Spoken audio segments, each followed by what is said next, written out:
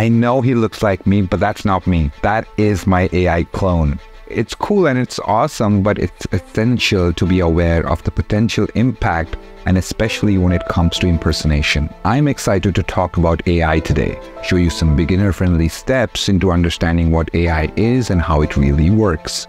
It's important to learn AI because while it's a great evolution, there are also some potential risks. First things first, let's demystify AI. It's not as complicated as it might sound. At its core, AI, or artificial intelligence, is like giving computers the ability to learn and make decisions, making machines smart. Now, you might be wondering why even bother learning AI then? Well, that's because it's becoming a big deal even in our personal to professional lives. Learning about AI can open up doors to new possibilities, again, not only in your personal but also your professional journey. Alright, let's get started with some hands-on stuff. Learning AI often involves a bit of coding, but don't worry, we'll keep it simple. You can start with some languages like Python and tons of resources online are available. Or you can contact me through my website I'll be more than happy to connect with you. Now let me show you some things that I did on my computer with the power of AI. You'll be able to see the potential that AI has. In this video, I was able to swap my wife's face with some celebrities. Let me play in this video side by side so that you can see the comparison.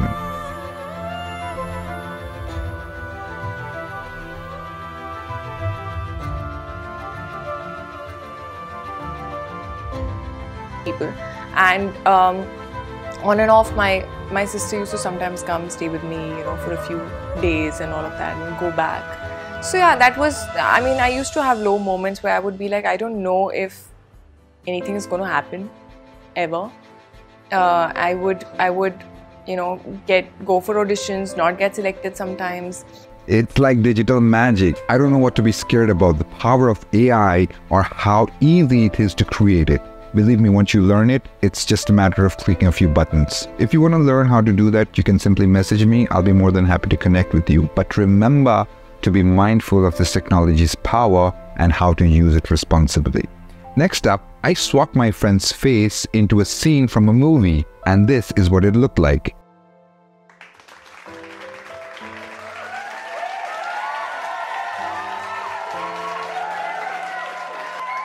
People not only at home but also at work were amazed to see the results. And lastly, I made an AI clone that talked like me, looked like me, but it wasn't me.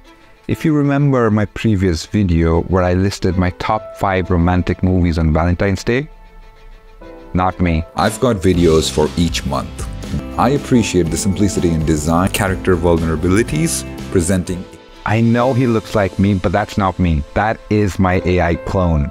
It's cool and it's awesome, but it's essential to be aware of the potential impact and especially when it comes to impersonation.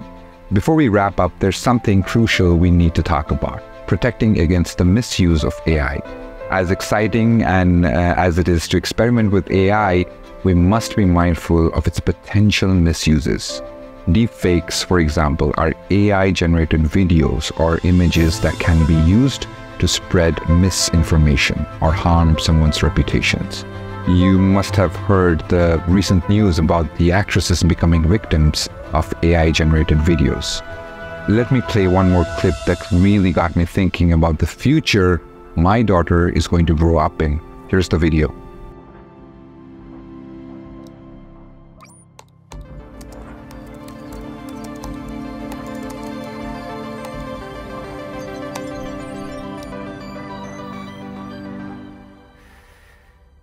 Hey, Mom. Hey, Dad. It's me, Ella. Well, a digital version of me. Just a bit older.